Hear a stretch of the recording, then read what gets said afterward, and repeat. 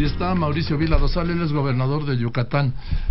Gobernador, gracias, buenas tardes. Al contrario, Joaquín, un gusto poder estar contigo y con todo tu auditorio. ¿Cómo le ha hecho Yucatán?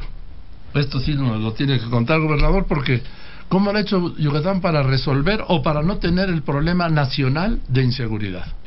Pues mira, Joaquín, la verdad es que eh, afortunadamente, como tú dices, con mucho trabajo, con mucho esfuerzo en Yucatán se sigue viviendo en paz y tranquilidad. Desde hace años. Desde hace años es un trabajo. hace algunos años. Algunos años. Es un trabajo que se ha estado realizando desde hace tiempo atrás. Y la, la realidad es que nosotros hemos invertido mucho en el tema de seguridad. Ahorita, por ejemplo, estamos impulsando un nuevo programa que se llama Yucatán Seguro, donde vamos a invertir 2.600 millones de pesos. Por ejemplo, en pasar de 2.200 cámaras de seguridad a 5.700, de 100 arcos lectores de placa a 219 lectores de placas, entre muchas otras cosas. Vamos a hacer las, el Estado de la República que va a tener el mayor número de cámaras per cápita. Y por supuesto también seguimos invirtiendo mucho en nuestro capital humano, en nuestros policías. Este año, por ejemplo, tuvimos 300 policías que se incorporaron a la policía estatal, con lo cual estamos sobre los estándares que piden de policías por habitantes.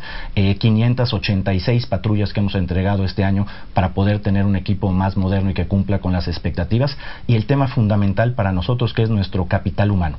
Estamos trabajando muy fuertemente para que los policías puedan convertir, tener cuatro cosas en Yucatán. El primero, un salario digno. El segundo, acceso a servicios de salud de calidad. Para ellos y su familia. Para ellos y su familia.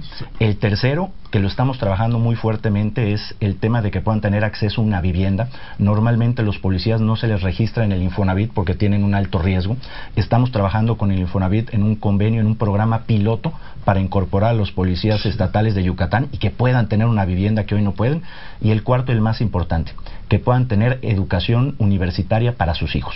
A partir del curso escolar pasado, del 2018, le estamos dando una beca para que los hijos de policía puedan estudiar en cualquier universidad pública o privada, la que sea de Yucatán, 100% de inscripción, 100% de colegiatura y además 2.600 pesos bimestrales para su alimentación, para su transportación y a partir del curso escolar que viene hacemos extensivas las becas para cualquier escuela de primaria, secundaria o preparatoria, además de universidad, en cualquier escuela pública y privada. Hoy tengo hijos de policías que están estudiando totalmente becados en la Universidad Anáhuac, Mayap, que es la Anáhuac de acá.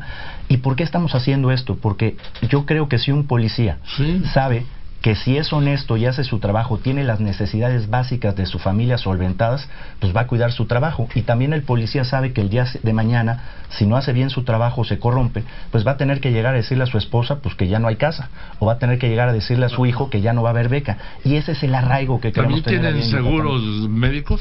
Sí, tenemos un convenio que tenemos para poderles otorgar eh, atención médica. Tenemos algunos convenios con algunas clínicas eh, privadas que queremos aumentar, porque lo que queremos es que ser policía sea una forma de vida que, permita mejorar. Ya está, para mí hay que atenderles todas sus necesidades, empezando por la más importante que es la de la salud. Pues la alimentación, la educación, la, alimentación porque es sobrevivir, la casa digna. Sí, la pensión, deben tener una pensión de retiro, ¿no? Sí, así es. Sí, tienen su pensión, tienen sus seguros, tienen todo. La realidad es que el ¿Cuántos policías hay en...? En Yucatán tenemos 4.300 policías estatales más los municipales. ¿Y jalan los municipales o...? Eh, la verdad es que, mira, en Yucatán, eh, la Policía Municipal de Mérida, nos coordinamos muy bien. Ellos solamente ven el centro histórico, la Policía Estatal es la que cuida ah. toda la ciudad. ¿Hay mando único? Eh, es un mando muy coordinado. tiene La Policía Municipal tiene su mando. Y los municipios de Yucatán, tú sabes que son pequeños, ¿no? Estamos hablando de, de municipios de 3.000, 4.000, 5.000, pero la verdad es que hay una excelente coordinación. En muchos alcaldes se acercan a decir, oigan, yo quiero que la Policía Estatal me ponga el jefe de mi policía. Así lo hacemos en muchos municipios y la verdad es que trabajamos muy coordinados, no solamente con los municipios, sino también con las fuerzas federales. Estoy hablando con el gobernador de Yucatán, Mauricio Vilazón. También ayuda, y me parece que está muy bien, digo, la geografía, ¿no? Creo que tiene, hay dos accesos o tres, hay dos accesos a, Mérida, ¿no? Son tres accesos, la Mérida Campeche, la Mérida Chetumal y la Mérida Cancún. Y lo que tenemos es instalados retenes en todos los accesos al estado, eh, con cámaras de seguridad, con arcos lectores de placas, lo cual pues nos permite eh, hacer blindajes del estado cuando se presentan ciertos tipos de, de, de situaciones. Eh Vamos, pero no solo la geografía, es esto porque Cancún tiene dos accesos y como está Cancún ardiendo, ¿no? Sí, la verdad es que en Yucatán desde hace algún tiempo y mucha mucha gente nos pregunta, oigan, ¿cuál es el qué es lo que está haciendo Yucatán? Yo quiero Porque lo, han hecho gobiernos del PRI y del PAN. Así es. De hecho, por ejemplo, eh, mi secretario de Seguridad Pública pues viene de gobiernos anteriores que venían del PRI. Tiene, ha habido una continuidad donde sabemos que si alguien está haciendo bien su trabajo, pues, pues no por cuestiones políticas lo vamos a mover, ¿no? Si algo está funcionando, si no está roto, no lo arregles. Pero además déjame decirte también que que durante los últimos años se ha aumentado desde el gobierno de Patricio Patrón, de eh, Ivonne Ortega, de Rolando Zapata y en este mío, en promedio el presupuesto a seguridad se aumenta un 20% con los financiamientos que se han pedido, de este de Yucatán Seguro y otros que se han hecho, y eso también es un indicador. Hay que invertirle al tema de seguridad porque a mejor preparación, a mejor equipamiento, con más tecnología, pues hay muchas cosas que se pueden evitar o resolver más rápido. Eh, gobernador, el tema este ahora del INSABI, veo que, aquí lo tengo en mi página, dice, gobernadores panistas presentan un plan alterno al INSABI. No, digo, ya, es entrarle al terreno de la locura, ¿no, gobernador? Porque, o sea, no si Seguro Popular, no al INSABI. A estas alturas de la película, presentar un plan alterno al INSABI, gobernador. Mira, te platico, Joaquín. Eh, los secretarios, nuestros secretarios de salud de los gobernadores de la UAN se reunieron el jueves. ¿no? para discutir estos dos eh, propuestas que nos da el gobierno federal, que es adherirte o no adherirte al INSABI.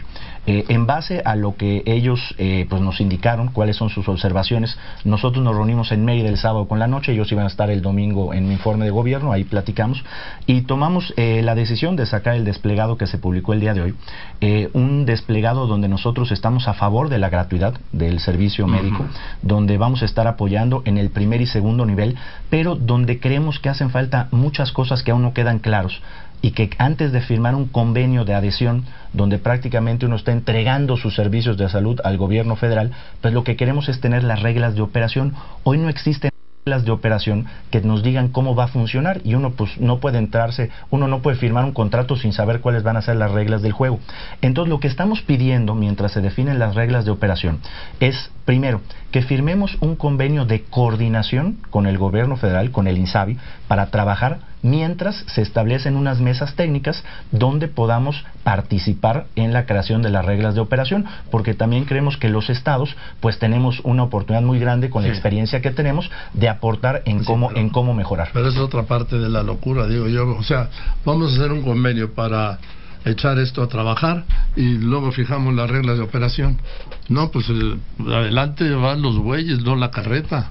Digo, no, digo, adelante van las vacas, pues que jalan. Sí, no, la verdad es que es un poquito lo que nosotros estamos pidiendo, que haya eh, más participación, que se nos tome en cuenta y que podamos construir pues esto que todos queremos, que es la gratuidad del servicio, pero de una manera que sea sostenible a lo largo del tiempo. Bien, eh, pues hay que ir a Mérida, ¿no? Sí, la, verdad es que Mérida, Yucatán sigue siendo un gran lugar. Este año, por ejemplo, Joaquín, es el año que más turistas hemos recibido en nuestra historia. 3 millones 200 mil personas que llegaron a Yucatán. Mucho extranjero, mucho turista nacional. Eh, el aeropuerto de la ciudad de Mérida creciendo, pasando al doble de su capacidad. Hoy de 2 millones de pasajeros va a pasar a 4.7.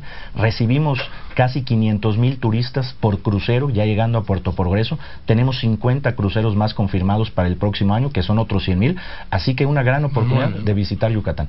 Pues gobernador, muchas gracias. Al contrario, Joaquín, un gusto poder estar contigo y con todo tu auditorio. Que estés muy bien. Mauricio Vila Dosal, gobernador de Yucatán. Yo voy.